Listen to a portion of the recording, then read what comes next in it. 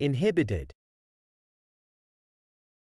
The word inhibited is an adjective that describes someone or something that is held back, restrained, or hindered in some way.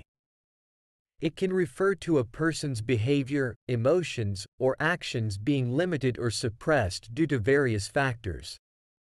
When someone is inhibited, they may feel self-conscious, reluctant, or unable to express themselves fully. This can be due to shyness, fear of judgment, lack of confidence, or social norms. Here are a few examples to help illustrate the meaning of inhibited. 1. Socially inhibited behavior.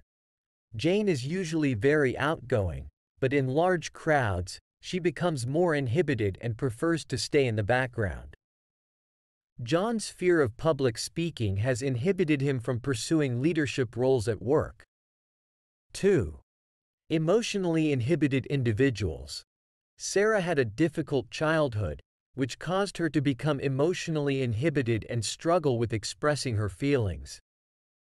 Some people find it challenging to cry in front of others because they feel inhibited by societal expectations. 3. Inhibited creativity. The strict rules in the art class inhibited the students' creativity, as they felt restricted in their artistic expression.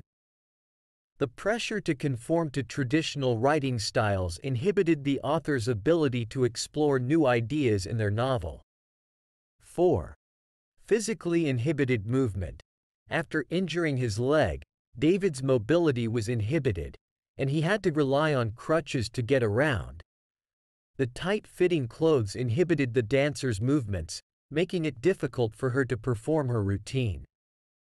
It's important to note that being inhibited is not necessarily a negative trait. Some people may prefer to be more reserved or cautious in certain situations.